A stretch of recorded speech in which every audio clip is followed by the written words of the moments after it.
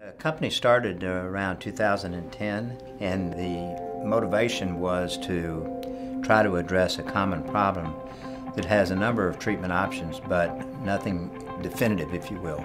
And that uh, problem was tendinopathy. Tenex has a mission that is stated and directs our activities, which is to be the definitive treatment for chronic refractory tendinopathy in all of its anatomic sites and manifestations. Tenex has changed the way I treat tendinopathies completely. Usually we start with therapy, and if patients fail therapy, the book tells you to wait for 13 months, and the problem should go away. Well, usually the patient goes away, but I don't know if the problem goes away. So Tenex offers an excellent stopgap for me between therapy and open surgery. I think the big advantage of the Tenex technology is that we don't burn any bridges in terms of, you know, still going with a traditional surgery if this doesn't work. So we really see it as kind of growing the pie in terms of available options to people. A lot of these patients are not going to have traditional surgery, at least they're not ready for it yet, but they are willing to use the Tenex technology to do an ultrasound guided procedure. Percutaneous tenotomy uh, using Tenex is quick and easy for both the patient and the provider. Typically, we bring you in, prep the area just with a standard alcohol and chlorhexidine wash, and then inject numbing medicine, local anesthesia into the area. Make a small nick in the skin, and at that point, I'm guiding the procedure under ultrasound. Use the ultrasound to visualize the area of the tendon that's bad and needs treatment, and then put the probe right into the area that needs to be treated. Hit the foot pedal and the machine uses ultrasound to cut and remove the bad tissue, put a band-aid on and an ACE wrap. Depending on the site, the treatment takes somewhere between 40 seconds and two and a half minutes. The ultrasonic energy cuts the diseased tissue, but it has a very safe profile because it doesn't interfere or damage normal tissue to any extent. It's also a hollow probe, so it, it actually removes the diseased tissue. So in that sense, it's like surgery. Those are the features that make this a game changer.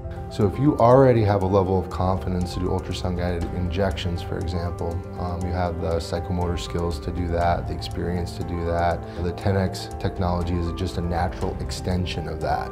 It's a very easy technology to adapt to your existing skill set. Documentation is very important when you're trying to develop a new technology and it's a, really a requirement. The one study that I'm very fond of is from Mayo Clinic where uh, one of the individuals who actually conceived of the idea of using ultrasound guidance to treat various tendinopathies over and above injections. And he found that about 95% of his patients did well at a year.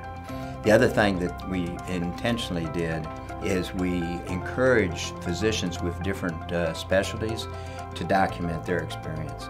So we have documentation from orthopedic surgeons, documentation from non-op sports doctors, interventional radiologists, and podiatrists.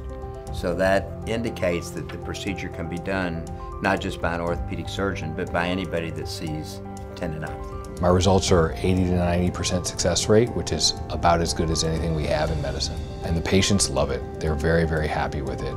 Uh, they love that they don't have to have general anesthesia. They love that they don't have to have stitches. Uh, they love that there's no splinting. They love that they get back to their lives faster. What I think makes this technology exciting and separates it from other options is the fact that we've done over 85,000 procedures and there's fewer than 20 complications. So it's extremely safe.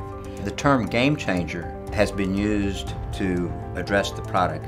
I used it the first time when I was asked my opinion about it and it was just a concept. And I said, if it's safe and effective and easily done and easily learned, it'll be a game changer. And it has been.